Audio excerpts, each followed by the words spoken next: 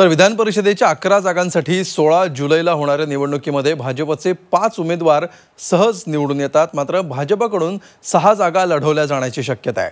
या सहा जागांसाठी भाजपकडून विद्यमान आमदार भाई गिरकर दलित चेंबर ऑफ कॉमर्सचे अध्यक्ष मिलिंद कांबळे नागपूरचे माजी महापौर प्रवीण दटके किंवा संदीप जोशी राष्ट्रवादीचे विद्यमान आमदार नरेंद्र पाटील आणि महादेव जानकर यांना आमदारकीचं तिकीट मिळणार आहे. दरम्यान स्वतःच्या पक्षाचे उमेदवार म्हणून रिंगणात उतरवण्यावर हे ठाम आहेत. त्यामुळे या तिढ्यावर काय तोडगा निघतो याकडे सगळ्यांचं लक्ष आहे.